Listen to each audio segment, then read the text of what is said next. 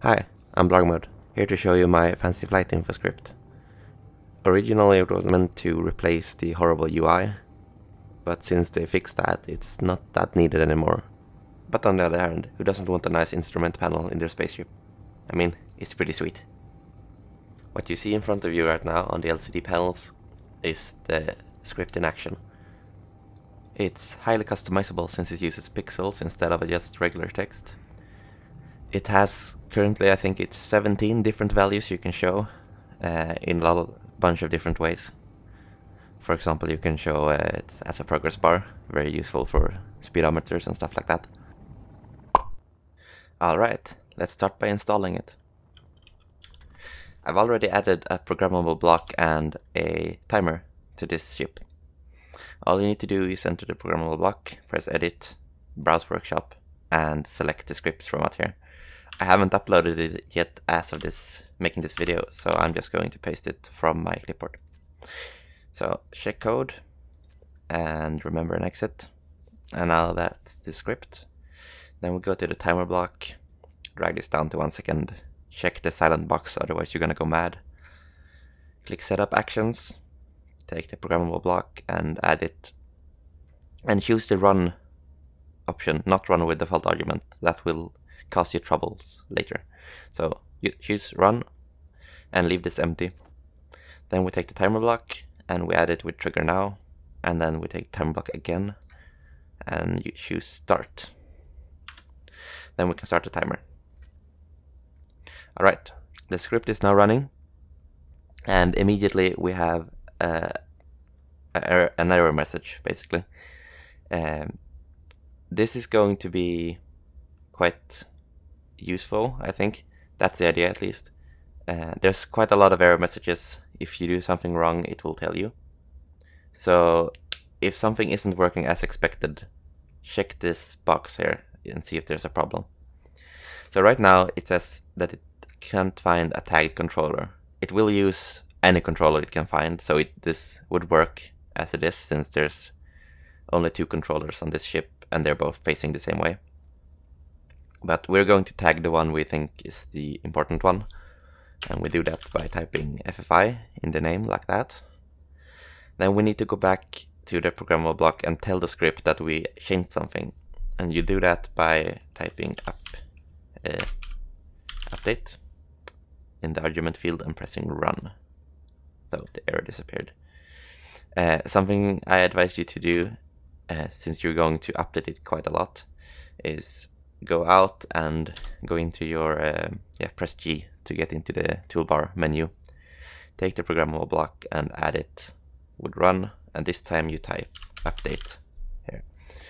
So now you can press 2 in this case to update uh, the script.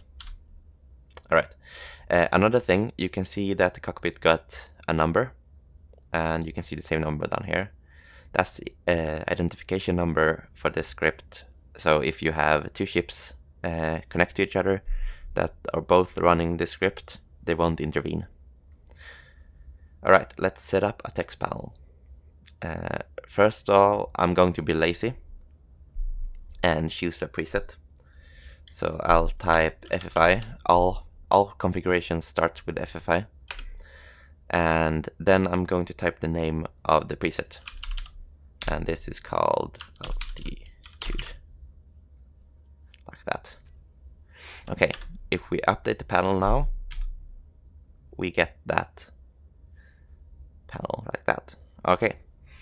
Um, one thing to note right now uh, the landing gears are locked so it's saying it's on the ground if I unlock them it says we're three meters above the ground. So let's let's land on the actual ground instead of my little platform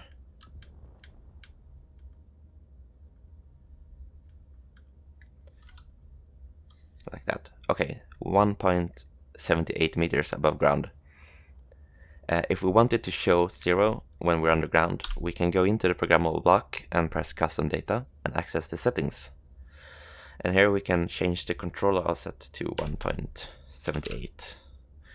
Uh, also, I'm going to change the top speed since I have a speed mod installed. So we get that out of the, out of the way and then just update the script, and now we're on the ground, despite not having the landing gears locked. Okay.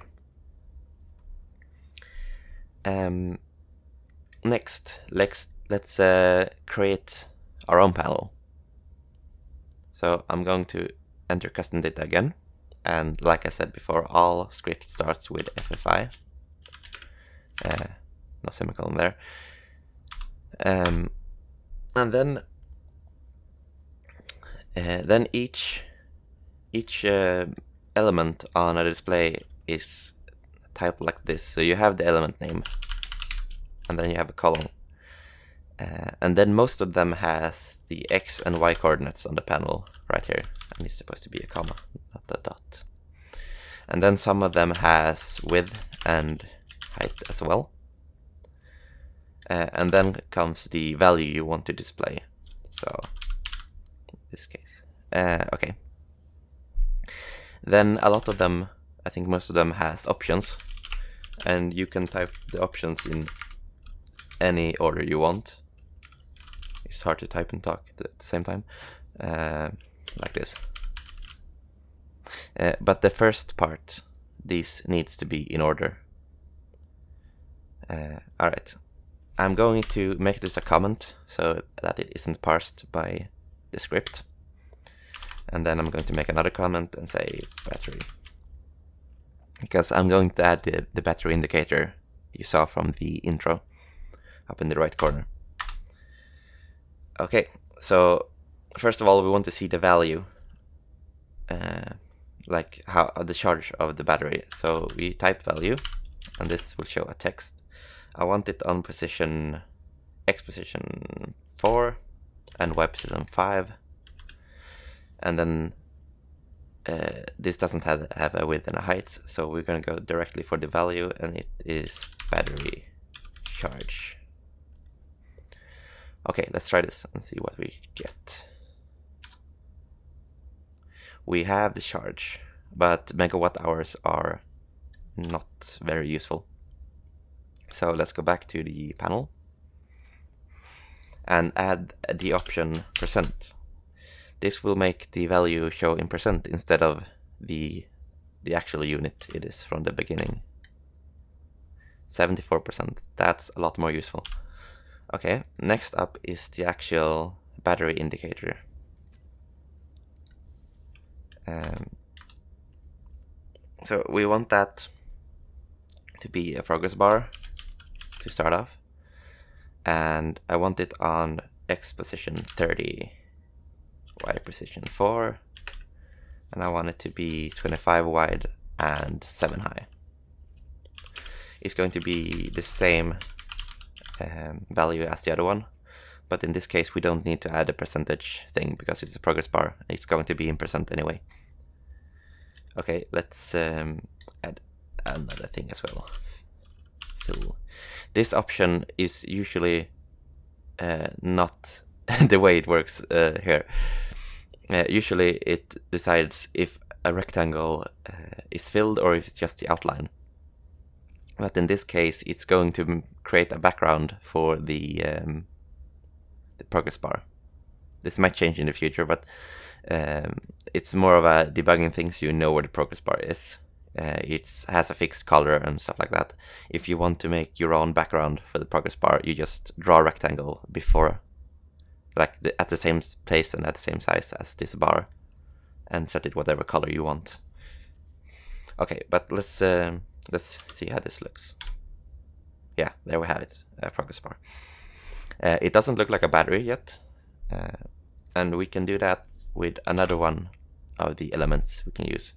But before that, we should set the colors. Uh, the default color is white, but if you add another color, it will use that as the default instead.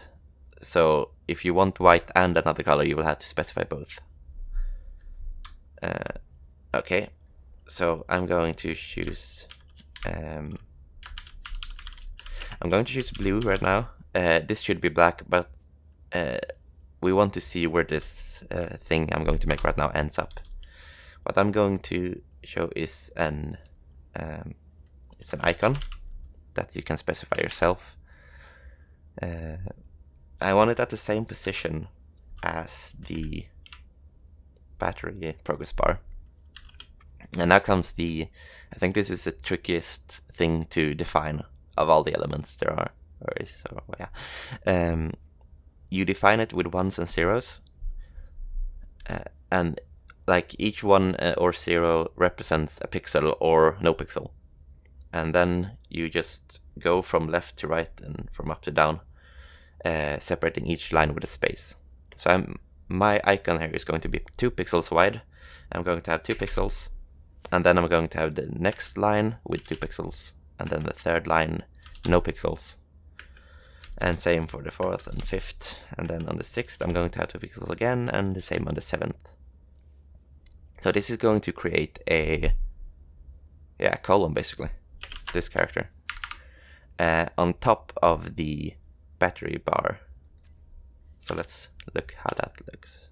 Yeah, uh, that makes it look like a battery if we turn these black like the background. So let's do that. Let's also, uh, well, yeah, black. Um, Oops. Like that. Now the last thing we have to do is flip the bar because right now the battery bar is going the wrong way. It looks strange.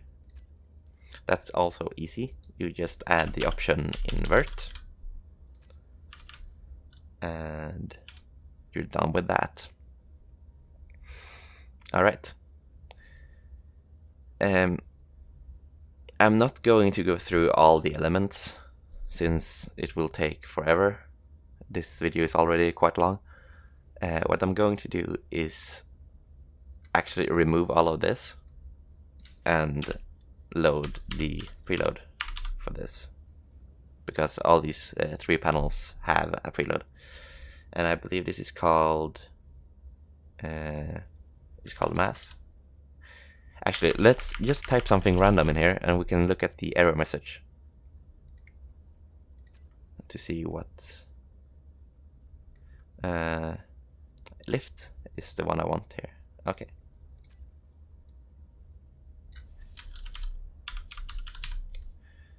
And then I'm going to set this one as well as FFI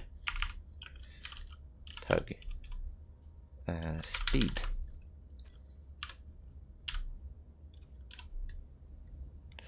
So there we have them all right. Uh, one last thing I'm going to show you. If you want more panels that shows the same thing, instead of configuring them again, does the sun have to be directly in our face? Um, okay, so if you want the same panel again, you can just create a panel and then instead of uh, copying the whole thing, like from in here, or using the preset again, you can just take the name of it, copy that, and go back to the other panel, wherever it went. Uh, there we go. And we say FFI, and then you type copy. Uh, copy. And the name of the panel you want to copy. Um, if you were observant, you were going to know that if we update it now, nothing's going to happen because of the settings. Uh, this is a small ship, so by default, it has the setting uh, to pause the program while away. So while we're not in the cockpit, I don't know if you can see, they're like grayed out. Um, so when you park your, your ship on another ship, it won't be running because if you're not in it, what's the point of seeing how fast it's going, and stuff like that. But for large ship, you might want to see that, so it doesn't pass it by default on them. But you can change the setting. Uh, okay. Actually, let's look like this. And update. And there we have that one. So now we can fly in third person and see how fast we're going without the UI. Alright, I think that's it. Um, yeah. we can fly and we have all the data in the world. Yeah, well, not in the world. But yeah, that's it. Thank you for watching and I hope you like my script. Hey, wait, I forgot something. Uh, I have to, of course, show you my font as well because I think this looks so very cartoony. So let's select all of them and use dot matrix. It's on the workshop. And it looks like this. Suddenly it fits in with Space Engineers. And it's no longer a cartoon. Alright. Thanks for watching. Bye.